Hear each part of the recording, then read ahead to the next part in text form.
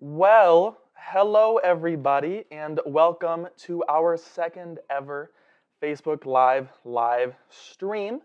Um, my thank you so much for tuning in with us here today. We have another fantastic discussion for you all to, to be a part of.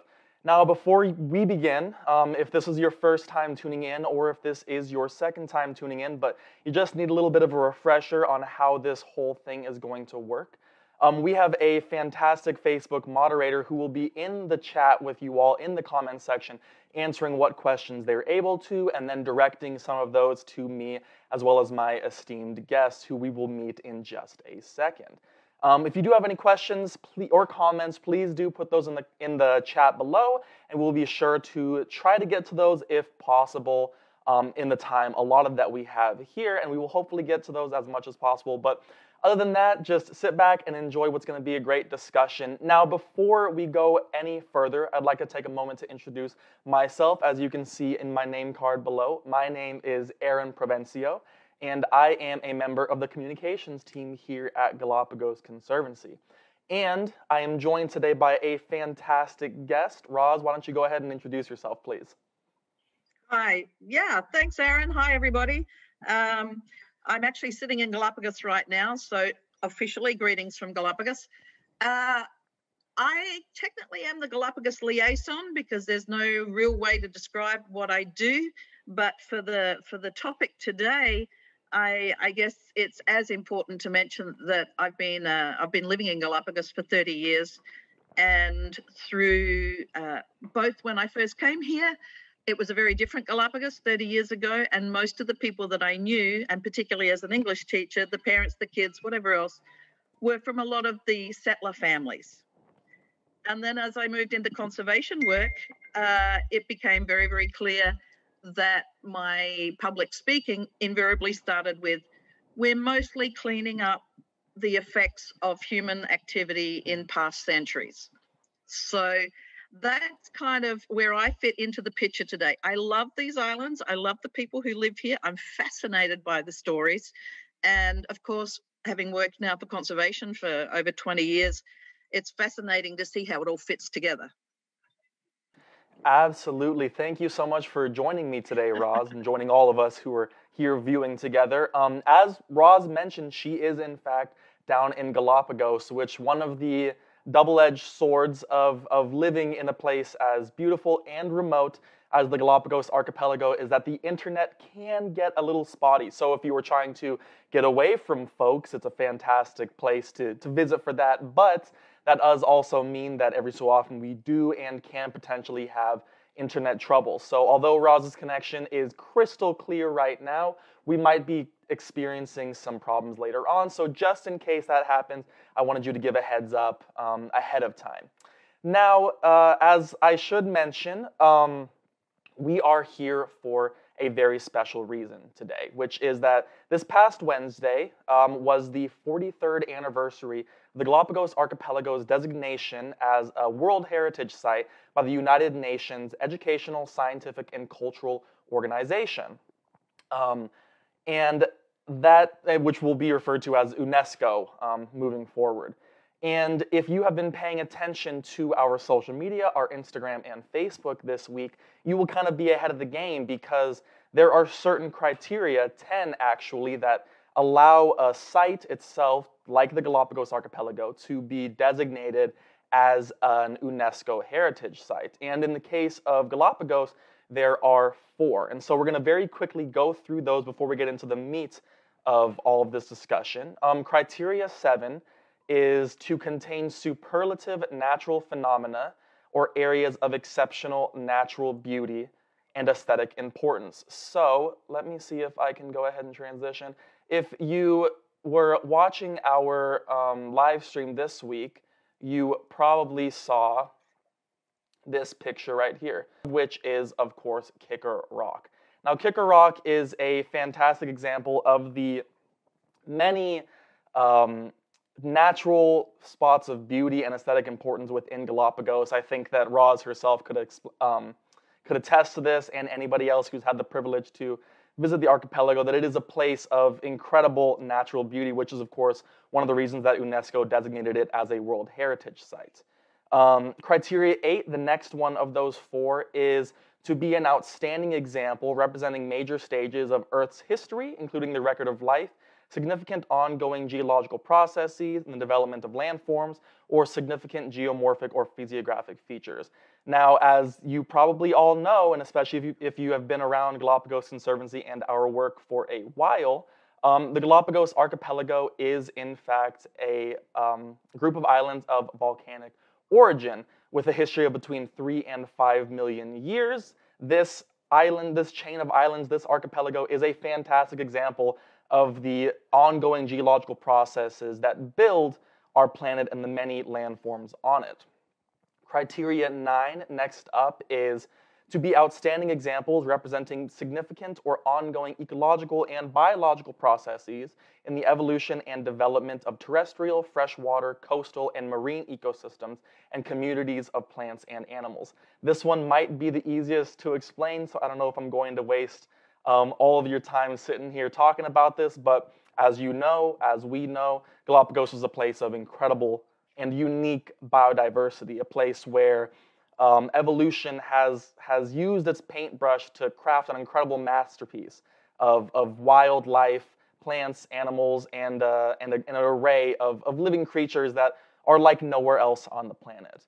And then, of course, criteria 10 to contain the most important and significant natural habitats for in situ conservation of biological diversity including those containing threatened species of outstanding universal value from the point of view of science or conservation. And, and that one right there, criteria 10, is kind of why we're here. That's why there is so much conservation effort that goes into Galapagos because, as I mentioned before, the unique biodiversity of the Galapagos archipelago is incredibly unique and endemic and fragile and the unique and necessary habitats that exist for these different wildlife on Galapagos need our help. And that is kind of what we're here to talk about today is, is how did we get here? How did we get to a point where this intense conservation action by us, by our collaborators, and by the Ecuadorian government um, is so important? But what a lot of people may not know is that Galapagos, outside of the incredible ecological presence that is there also has a really unique human heritage as well, and it's one that is interconnected with the island's ecology itself, and as well as some of its most difficult and present problems. So that is why we have Roz here today, is because as she said herself, she is um, a longtime resident of Galapagos. She is our quote unquote Galapagos liaison who is kind of our eyes and ears on the ground in Galapagos outside of um, some of our other research partners, scientists, and things like that. And she is also a published author of this book right here, uh, Galapagos Revealed, which I got a copy of when I first started working here at GC. And if you want a copy for yourself um, at the end of this presentation, feel free to visit the store at galapagos.org to, to snag yourself a copy before it's too late because after this presentation and this discussion with Roz, those might be flying off the shelves. So definitely get ahead of that. And before we get into it, one more thing I should mention is that we are in the middle of our September membership appeal, which is we have a lot of projects going on, a lot of upcoming expeditions, and we need your support to be able to make these things happen, to be able to supply our scientists and rangers and researchers with the equipment and know how that they need to help preserve these ecosystems that we've been talking about. So if you want to go to the link in the comment section below that is pinned, um, you'll be able to donate at any point during this live stream if you so choose, and we definitely would appreciate that because we absolutely need your help. Now, whew, I'm sure you all are very tired of, of hearing me drone on about all of this, so we're going to go ahead and hand it over to Roz. So Roz, let's let's start from the beginning. How and when did humans first come to shore in the Galapagos archipelago? Well, you know, it's uh, it's it really speaks to all the sorts of global things that were happening uh, that put literally put Galapagos on the map. Is um, 500 years ago sounds like forever ago. Maybe it was, uh, but that was really a time of colonization, of exploration. I mean, literally, including countries like Australia, where I'm from, were were not even on the map. And so what happened was uh, a very famous, the Bishop of Panama at the time for Spain, Thomas de Berlanga, is uh, accidentally floated over here when the boat that he was on became stalled, no wind, uh, and the strong currents from mainland Ecuador to Galapagos pulled them across to the islands here. And so it was the first time Galapagos had actually been identified as existing was back in 1535. So, of course, he reported that back to the King of Spain, and um, not just Spain, but in South America, of course, the gold was very attractive. The Incan um, artifacts, everything else had really uh, targeted South America as the place to go to plunder, to capture in the name of the major royal houses at the time and also to carry all that gold away. So Thomas of Berlanga, completely by accident, was probably very grateful to see land, but was the first person to report that this place existed and technically put it on a map. And then not long after, come forward about 100 years, in the six, 1600s, particularly the late 1600s, there was a lot of voyaging going on. And one man in particular, um, William Dampier, who also traveled as far as Australia, he's in our history as well. He wrote a book after his um, big world trip called a, a, a New Voyage Around the World. And that triggered quite a lot of uh, explorers and sailors into action. And because Galapagos was now existed, that also brought people out around here. So we're going back four, or five hundred years in those golden ages of major, usual royal houses sending their people out to explore countries claiming new new lands, the new world for themselves, and Galapagos got onto that map. Um, also, you know, who doesn't love a pirate story?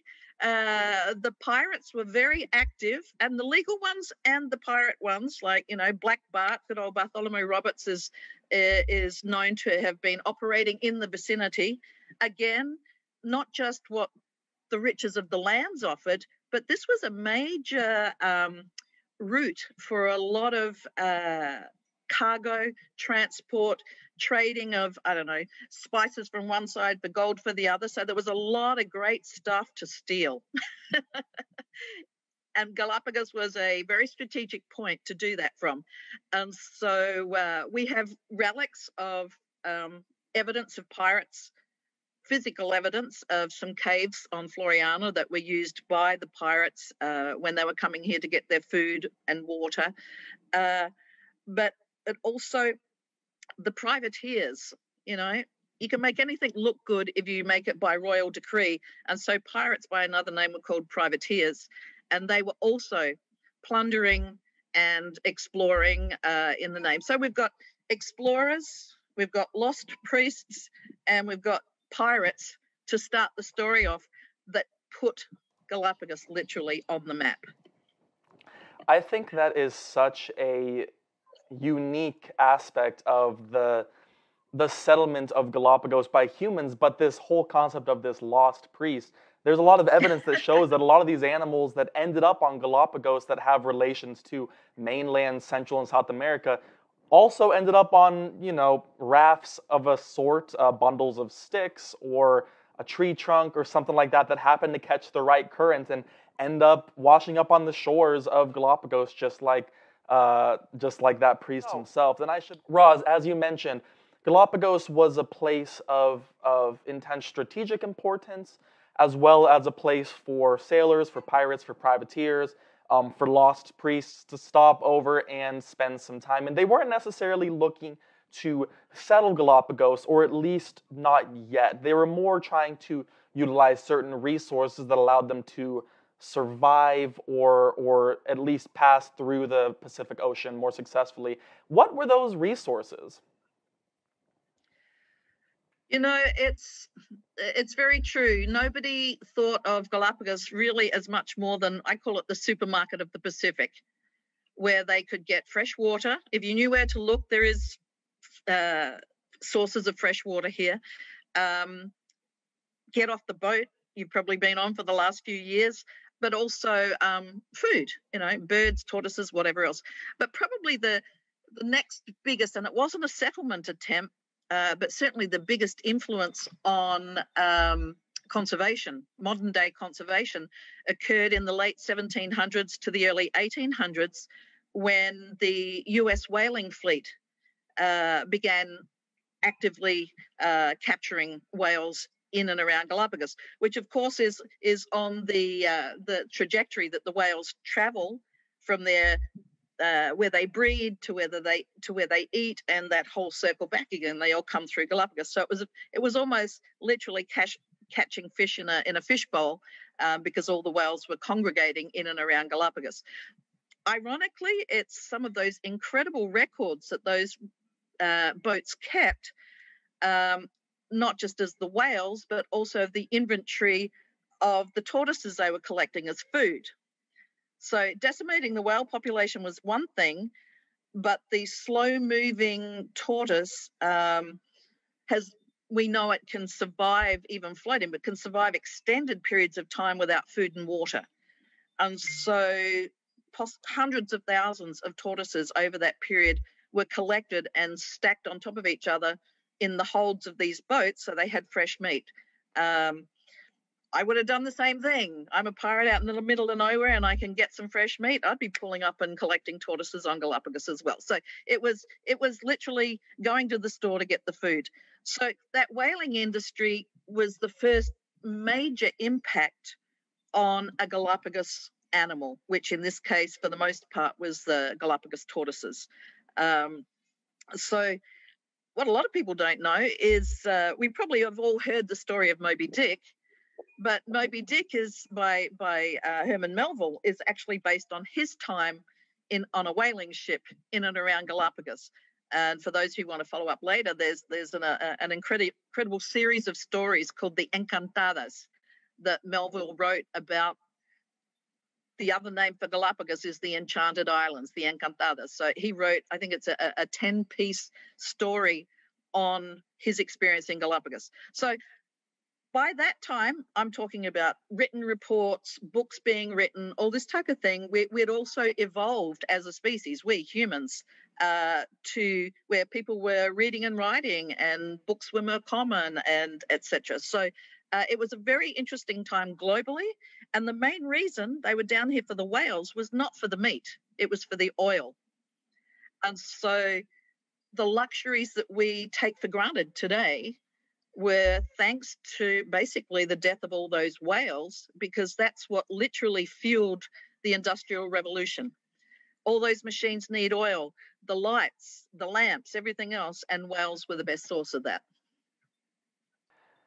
I I think that this is an important moment to stop and talk about what I think the the framing of this discussion was that when Roz and I were planning what this conversation was going to be, and it's that this conservation ethic that so many scientists and researchers and general members of the public have now is a relatively modern concept, at least in terms of Western civilization. And when you know in the, in the time when pirates and privateers were, were and whalers were moving down and through the Galapagos, this was hundreds of years ago at a time when a lot of people still believed that there was an endless abundance of wild animals on the planet for use by human beings. There was no preservation or even environmental ethic to speak of in a lot of contemporary society. And so, as you as Roz keeps saying, this um, this supermarket of the sea, this grocery store of the sea, was a place with zero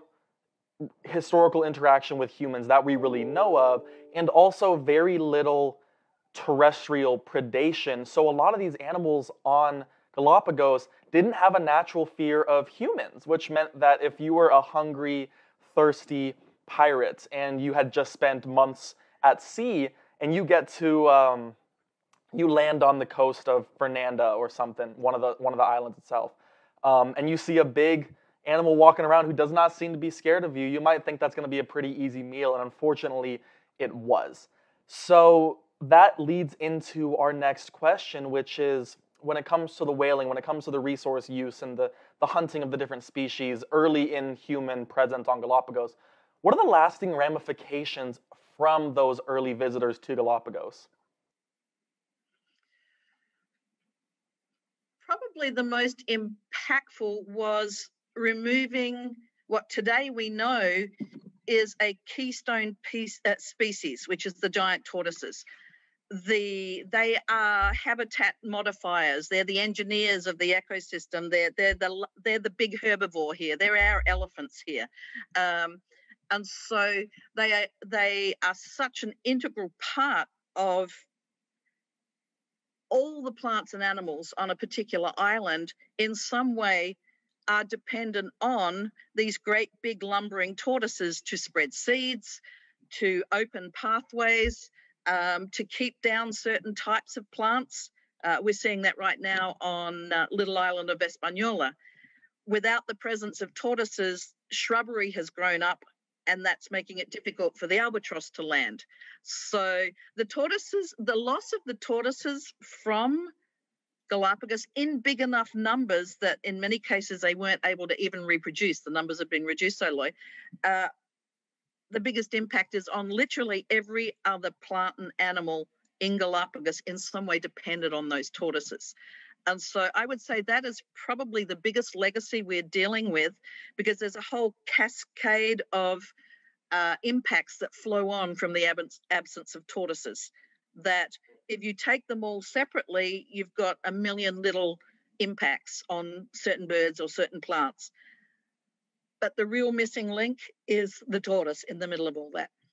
It's that old saying, death by a thousand paper cuts. Um, if, if those of you who are watching right now tuned into our last live stream, our first live stream like this with Dr. James Gibbs, uh, we're talking about this, this concept for the entire time is that tortoises in this ecosystem, our ecosystem engineers are the driving forces that manage so many little aspects of a functional, healthy Galapagos ecosystem. And so, as Roz was saying, the loss of that keystone species, that, that necessary species, was decimating to these ecosystems. And, and as we will continue to discuss, those echoes from the human actions hundreds of years ago are still absolutely shaping the conservation work that we are doing today.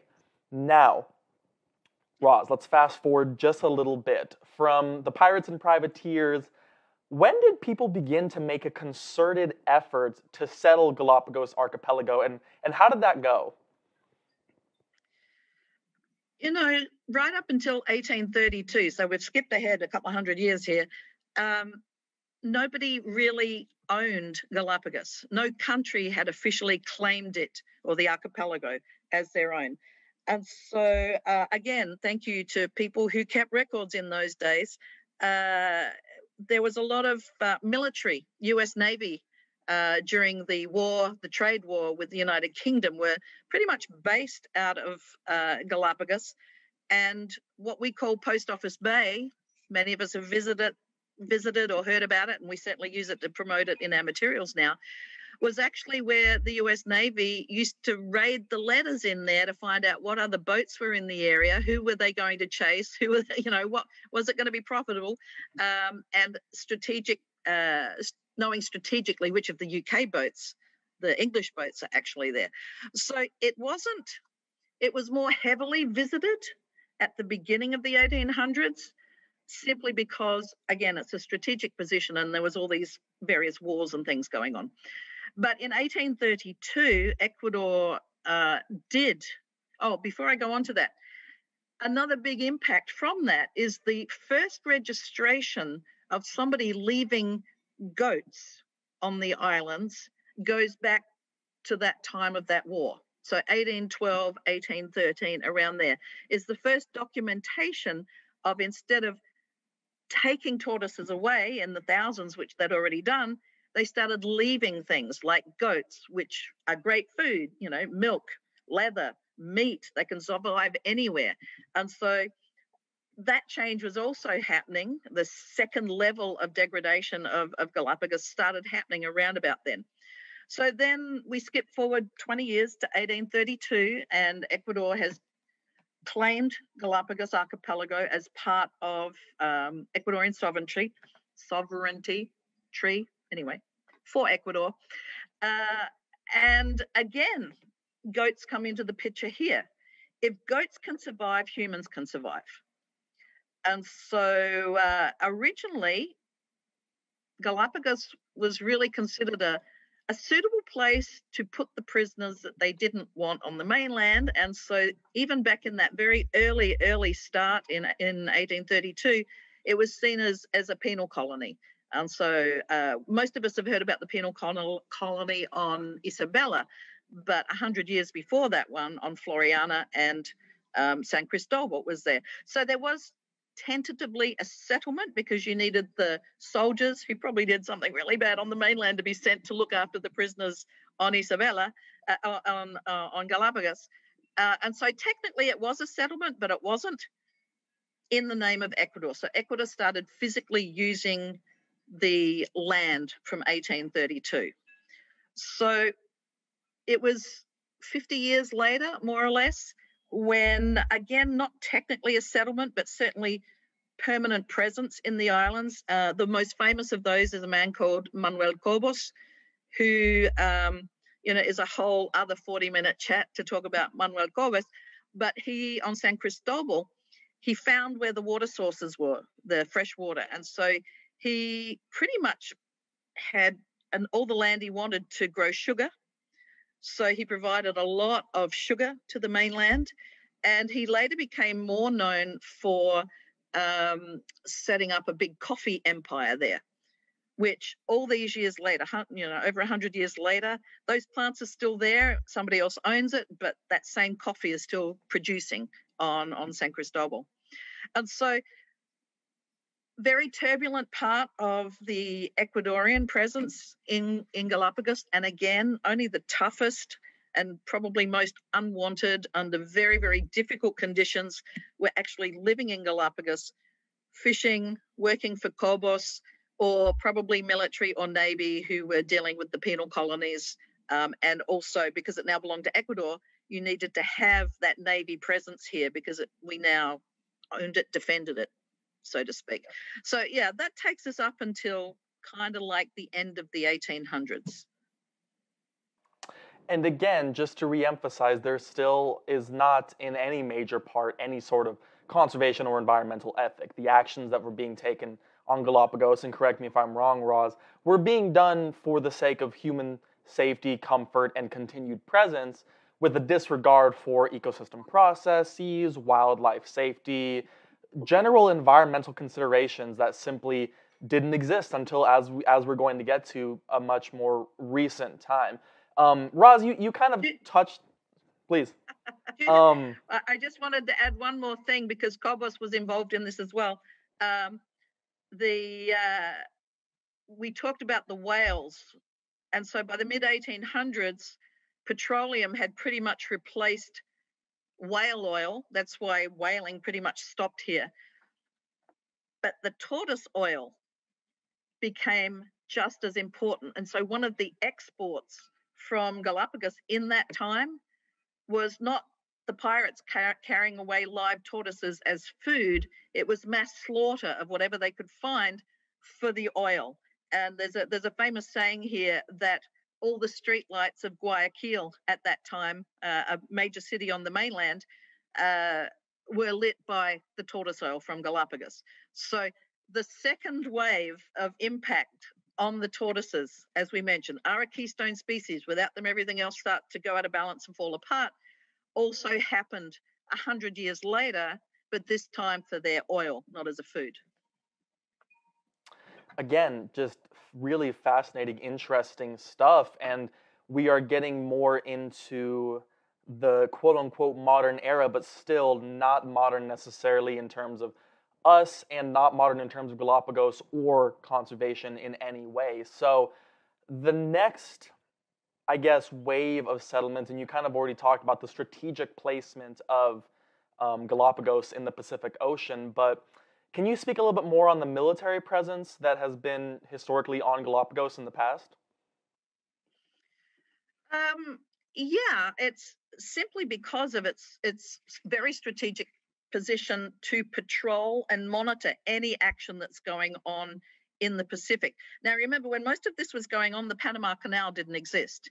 So to have a post where you can hide and work from and even you know feed yourself from is why Galapagos was so attractive. And that's actually also the reason why in the in the second world war um, Baltra uh, became a US military post. Again another big fabulous story there. There's been some great books written about the Baltra military post but basically the US um, would bring supplies and things from Panama and maintain the outpost. And this this is a, this is a flat rock island that's probably only six miles wide, something like there's, there's nothing there. Well, much to to speak of.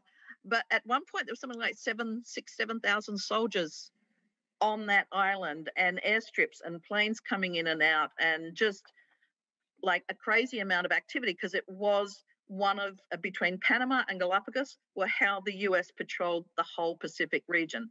Um, and uh, I kind of ironically, I had somebody here who who visited a couple of years ago who was testing to see the levels of fallout from the different world wars and how they were still circulating and spreading around the world and where the impact might be from from all the bombs and things we let off generations ago and it was scary but fascinating to think that the atomic testing was the two places that they were planning to do it was Galapagos and the Bikini Atoll. But Ecuador had already declared a bit of a national park marine reserve in the 1930s. They'd already started to put Galapagos on the map, and there was a lot of uh, usually wealthy people who had the ability to bring their boats down doing research here um, in in the 30s and so galapagos has already been put on the map a little as somewhere special with unusual things. Let's not blow it up with atomic bombs. So poor old bikini atoll got that great honor. Um, but because because of the position where galapagos is situated and all the other things that it offered it has always made it a very strategic place for for for war games. And following, or I guess in line with those war games, eventually Galapagos just became a place that was interesting to settle, or at least being advertised to other members of the global community as a place to settle. Um, what sort of early settlement was there? What, what were these people doing in terms of industry, in terms of making money, in terms of, of exporting goods from the islands? And, and where did they come from in the first place? Uh, interestingly enough, Galapagos has always been, and the, the Ecuadorian government has always been very open to international as well as national settlement. And so, of course, there is uh, Ecuadorian families, Ecuadorian fishing organisations, etc., that have that have been go back a century. Um, again, couldn't really call them settlements per se, but the real establishment, certainly on um, on uh, Santa Cruz Island, where I am, was predominantly Norwegians. And this is this whole weird thing that went on globally. Like, like I mentioned at the beginning, what affects Galapagos is what's going on in the global politics and economy always. We, we, we, we kind of get the filter down effects from that. And so we're between wars. There's, and, and that's just the two big world wars as well as everything else we get up to as human beings. But there was a, you know, there's a, a level of recovery and poverty associated with any major war. Europe was facing all kinds of things. And so, in order to continue to colonize, to settle, uh, Galapagos as an Ecuadorian province, not just a place we went and take stuff from, but to actually settle it. They they did actually advertise in Europe, and so the most the most known and well documented was a migration of over 200 Norwegian people who came down here to set up uh, a big fishing plant, which they did. Um, they also built the very first research station on Floreana Island, which is just behind uh, Post Office Bay there. Um, back in the 1920s, I mean, they they brought European technology, they brought European um, uh, knowledge to Galapagos, and even though uh, for a lot of things, including illness, um, you know, no hospitals on uh, on Galapagos in those days. Uh, it, it, the Norwegian fishing plant eventually stopped, but we still today have descendants of those uh, Norwegian settlers here in the 1920s.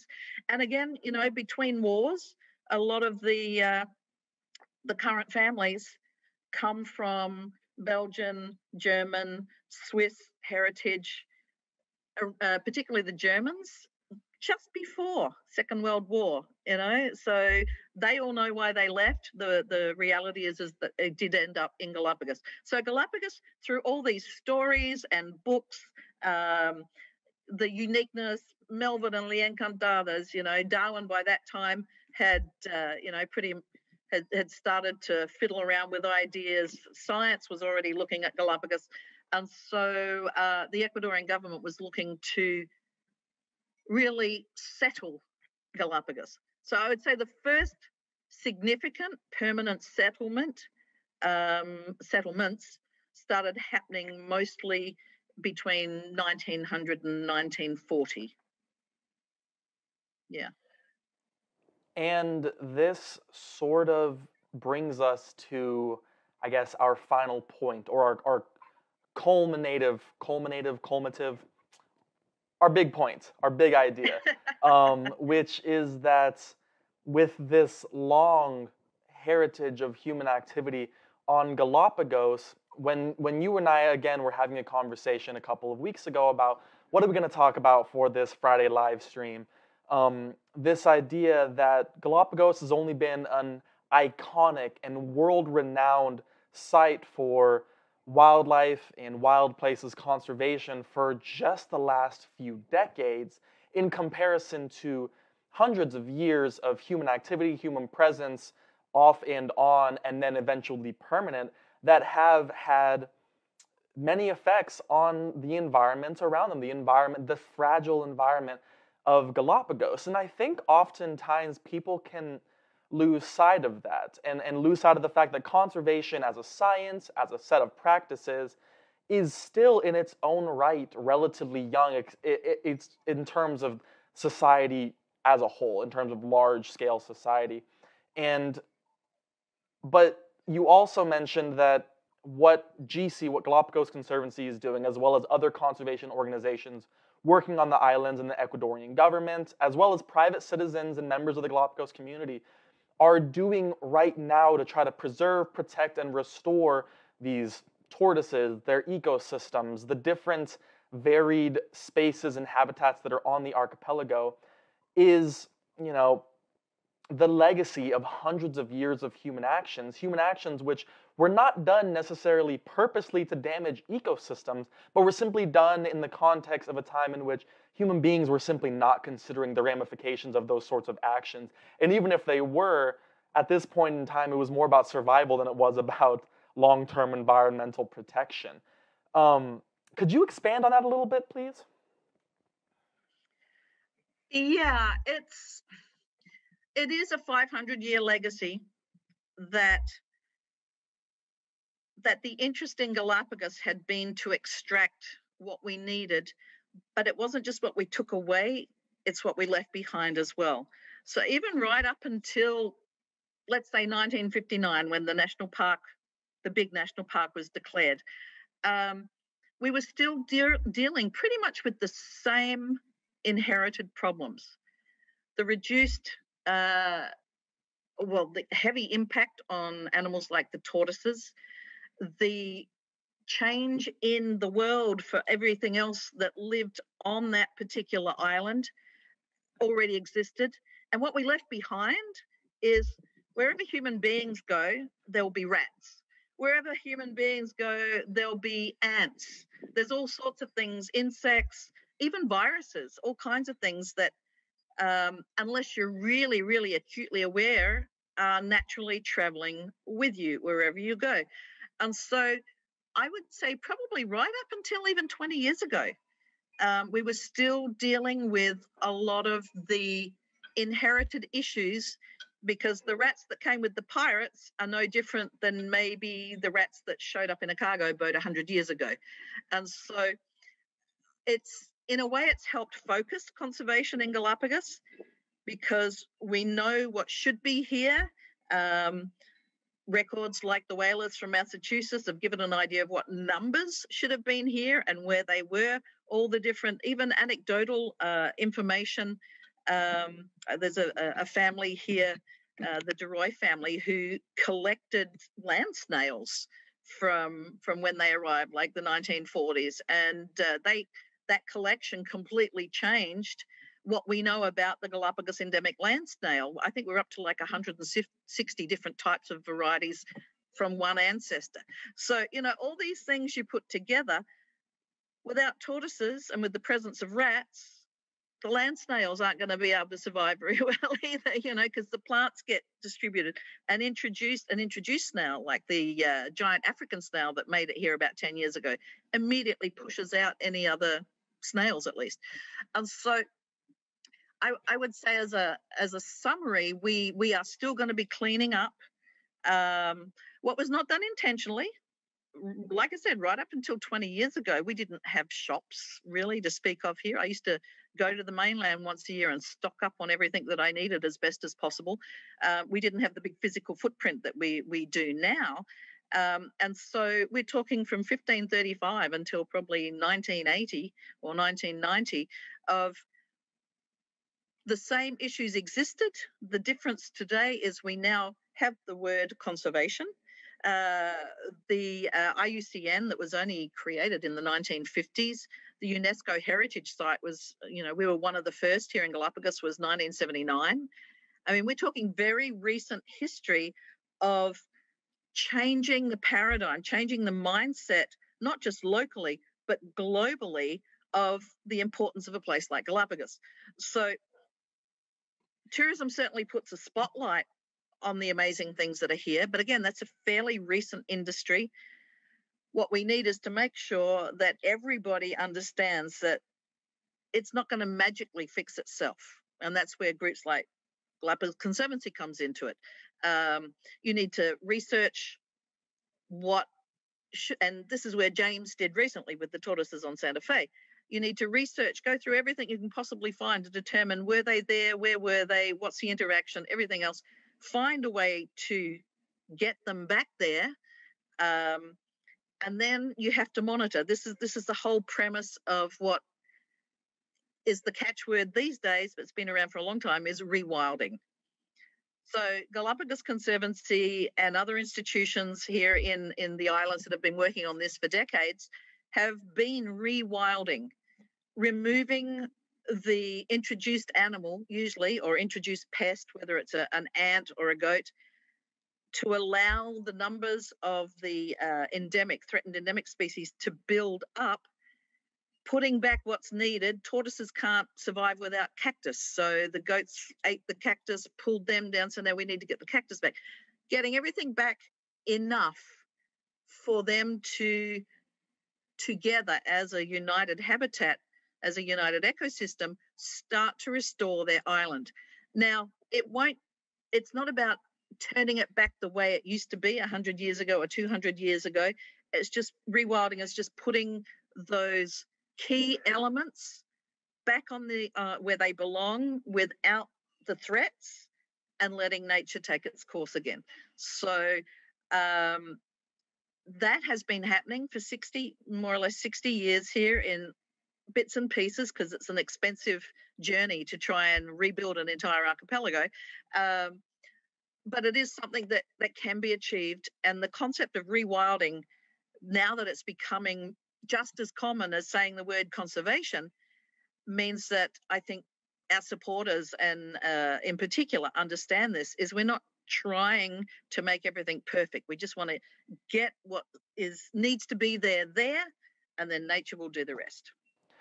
Absolutely, I have heard rewilding referred to as as setting the stage for nature yeah. to to play its parts to for the for the vast grand production that is nature, and especially on Galapagos Archipelago, it is a resilient suite of species and ecosystems that are and have been pushed very hard by human presence and human actions over the last hundreds of years. But as Roz was mentioning, there are a lot of people, a lot of organizations, a lot of people, both internationally and um, physically in Galapagos who are part of this initiative to rewild and restore Galapagos. Just speaking for us exclusively, um, the, the, the genetic confirmation of, of, of Fernanda from Fernandina Island um, as what we thought was a species that had gone extinct 100, year, 100 or so years ago.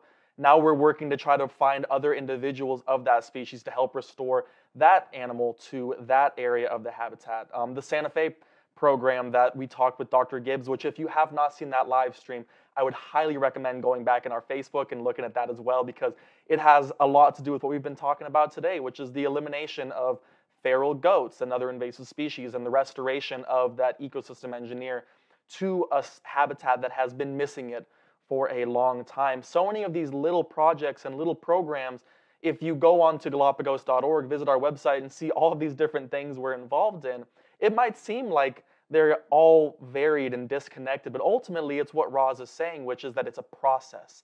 It's a process, it's a process of rewilding these ecosystems that have the capability of being preserved and saved and rewilded and restored, but they just need some help. And that's ultimately where, where we step in. And so, real quick, we're almost at the end of our discussion with Roz today. I want to make sure that you all in the chat, if you're still watching, um, have an opportunity to ask any questions that, that uh, to Roz or myself. Um, while we're waiting on that, I do want to again mention if you are interested at all in learning more about the um, Galapagos history, the human heritage of Galapagos, Galapagos revealed by our very own Roslyn Cameron and Randy Moore, um, is available on our website, galapagos.org, in the store. Um, and additionally, if you do want to help at all with the work that is being done to fix and restore the ecosystems of Galapagos from these inherited issues that we talked about for the last 45 minutes or so, um, please visit the link below and, and help us do what we do. Help us enact these projects and programs that are so much about working to handle the complex legacy that is Galapagos archipelago and, and, and human activity there as well. So let me go to the chat and see if there are any questions from, um, from our viewers at home. It looks like I'm not seeing anything. Let me get one more check real quick. Um, Roz, do you have any final comments before I before I uh, open it up to the chat to say anything else? Um, yeah, I, I think we need to underscore that just as in the past, the present and the future. Mm. Glo- it's global politics, it's global economy, and it's global action mm. that is affecting positively and negatively Galapagos. And I don't think we can eliminate um, the amazing work that's going on by, you know, creating a sustainable society in Galapagos, everybody participating. We're probably one of the most heavily regulated places in the world where you're trying to bring either a private boat or operate tourism, etc. But it's all for a very important reason is if we're going to protect a place like Galapagos, you can still have business, you can still live here, you can still have development, but do it consciously. Mm. So that's locally. Globally, climate change, plastics, are, I mean, they're affecting the whole world we don't produce more than 1% of the plastic that is collected every week from the beaches of Galapagos and the microplastics are all washing up on our shores. We're not producing that. So I guess my, my call is to literally every single one of us, wherever we are, to, to be aware of our purchase choices, to be aware of supporting groups like Galapagos Conservancy, do stuff in your own backyard, um, but become aware of how these these global decisions can make or break what's happening in a place like Galapagos. And so that must be islands all over the world, uh, but particularly with plastics and particularly with climate change. They're, they're the big ones ahead. Mm-hmm. And they're affecting the whole planet, and they're uh, planet. They're definitely affecting us here in Galapagos. Absolutely, it does, has, and will continue to take a global collaborative movement by the global community to save and protect well into the future places like Galapagos. But fragile and unique ecosystems all across the globe. I cannot say it any better than Roz just did. It takes it takes a village, and the village is very big and it looks like Earth. So if any of you are interested in supporting our work at Galapagos Conservancy, again, visit the link below. Um, visit galapagos.org. Follow us on on Instagram, Twitter. Um, to keep up with what we what we do here, we, we get involved in a lot of really interesting products or projects and exciting programs and um, we'd love for you to be able to get involved in as much as possible and any generous support that you'd be willing to send our way. We will absolutely make the best use of it, so we appreciate that as well. But Roz, thank you, thank you so much for, for joining us today. It's been an absolute pleasure. I know that I learned a lot. I hope that you all at home learned a lot as well. Um, big shout out to the Galapagos Internet for holding you uh, holding you into this chat. I appreciate that as well. Tell the whole rest of the town thank you for staying off their phones so that we could talk to you exclusively for the last 45 minutes. Um, but again, thank you so much for your time today, Roz. For those of you viewing at home, thank you so much for tuning in and for your continued support and interest. And I think that's going to about do that. So thank you so much for tuning in, and we will see you next time. Bye, everyone.